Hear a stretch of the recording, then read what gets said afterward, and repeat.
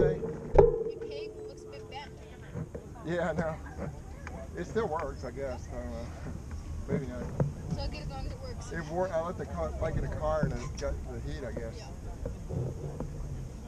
I don't think we're Keep that in mind with carbon wheels. The, the epoxy in your carbon fiber can melt if it gets hot enough. Like when it, it doesn't get hot here, Yeah. Toronto, but when I, when I live in Texas, man,